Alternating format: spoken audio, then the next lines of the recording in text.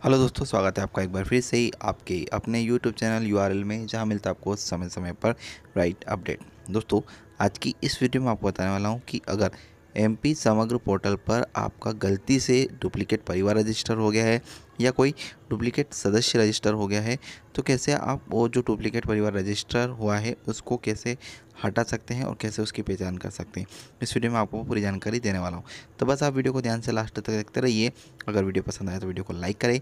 Channel पर आप नए हैं, चैनल को आपने अभी तक सब्सक्राइब नहीं किया है तो सबसे पहले चैनल को सब्सक्राइब कर लें और साथ में लाइक ज़रूर प्रेस करें, ताकि आने वाली हर वीडियो की नोटिफिकेशन आप तक सबसे पहले पहुँच जाए और आप हमारे वीडियो सबसे पहले देख पाएँ, क्योंकि हम ऐसे ही नए नए वीडियो आपके लिए हमेशा लाते रहते हैं। तो चलिए दोस्तों, सर देर न करते हुए शुरू करते हैं आज का वीडियो। दोस्तों, अगर आपने अभी तक समग्र पोर्टल पर ई के नहीं करी है तो ई के का मैं वीडियो बना चुका हूँ जिसमें मैंने आपको बताया कि आप ऑनलाइन घर बैठे कैसे ई के कर सकते हैं। उसकी लिंक आपको आई बटन पर मिल जाएगी, आप जैसे ही आई बटन पर क्लिक करेंगे तो आप वो वीडियो देख लें और उसके हिसाब से फिर आप ई के घर बैठे ऑनलाइन भी कर सकते हैं।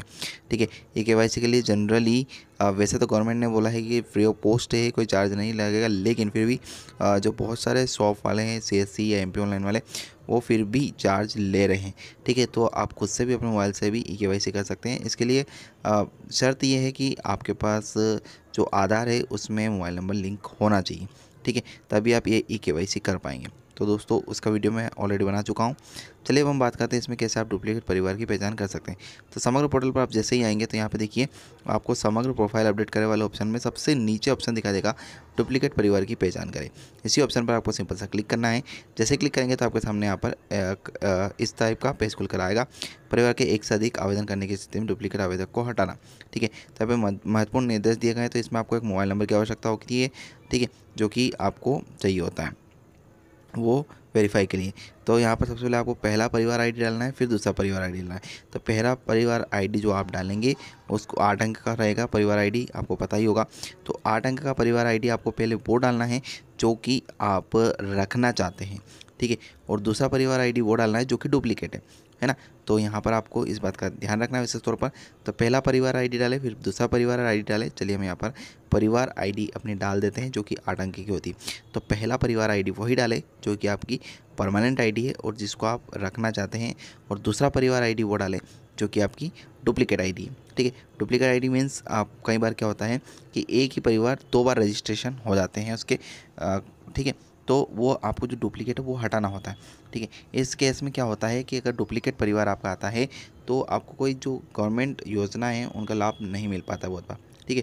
तो ये दोनों आईडी आपको डालना है, फिर कैप्चा आपको यहाँ पर डालना है, जो कैप्चा आपको दिखाई दे रहा है ठीक है, वहाँ पर आपको कैप्चा अलग दिखाई देगा, वो डालकर परिवार विवरण प्राप्त करें पर क्लिक कर देना है।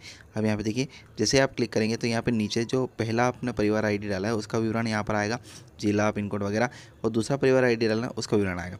फिर जो पहला परिवार आईडी उसमें कुल कितने सदस्य है, वो उनका विवरण आएगा, और जो दूसरा परिवार आईडी उसमें कुल कितने सदस्य है, उनका विवरण आएगा। ठीक है तो ये आप अच्छे से देख लें।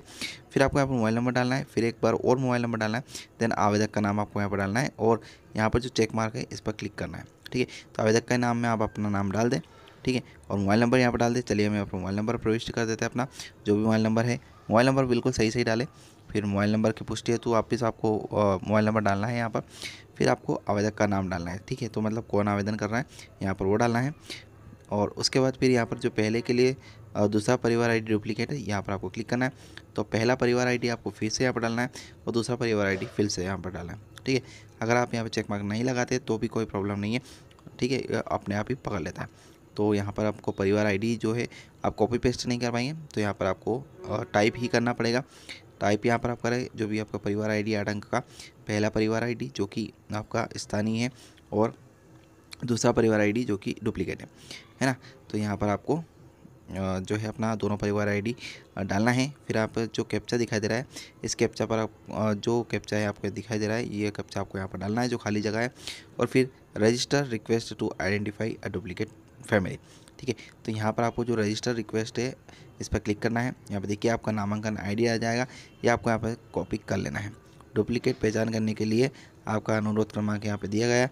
वेरीफाई रिक्वेस्ट वाया OTP का यहाँ पे ऑप्शन है।